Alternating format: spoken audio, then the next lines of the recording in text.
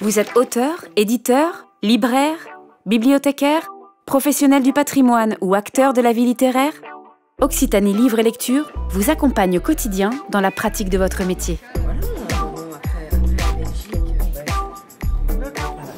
Nous mettons à votre disposition des experts pour répondre à vos questions juridiques, économiques ou fiscales. Pour approfondir votre réflexion, améliorer vos compétences et maîtriser chaque aspect de votre activité, nous vous proposons différents ateliers, masterclass et formations professionnelles.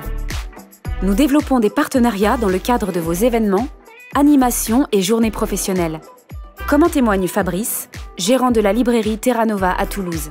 À l'origine du projet de résidence en librairie, il y a Yann Valade, le directeur de la Cave Poésie de Toulouse, et Occitanie Livre et Lecture. Nous avons conçu les résidences comme une série de, temps euh, de présence de l'auteur en librairie euh, sur plusieurs mois, avec euh, quelques temps forts. Depuis la résidence, nous avons réalisé de nombreuses vitrines en réutilisant leur technique. Nous avons ainsi enrichi notre pratique du métier. Pour nous, libraires, le, grand intérêt de la résidence, c'est qu'il nous permet d'expérimenter d'autres façons de faire de la médiation avec le public. Nous vous réunissons autour de projets communs et actions collectives variées, tels que la Commission patrimoine, le mois du film documentaire, Médiasique, Palanca ou encore le plan de conservation partagé.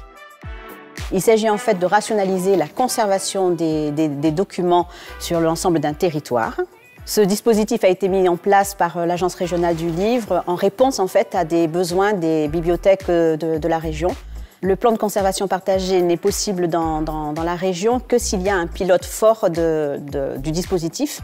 Chaque bibliothèque se positionne sur un, axe de conservation, cela peut être une collection, un auteur, un éditeur, afin de recouvrir l'ensemble des champs éditoriaux. Le pendant de la conservation, c'est la valorisation. Et le dispositif a permis aux bibliothèques de se réunir et de réfléchir ensemble à des actions d'animation en direction du grand public ou des professionnels. Nous profitons de chaque occasion pour partager notre réseau et provoquer des rencontres interprofessionnelles épatantes et inattendues. Retrouvez tous nos services et actions dans nos publications et documents imprimés ou bien en ligne sur occitanilivre.fr.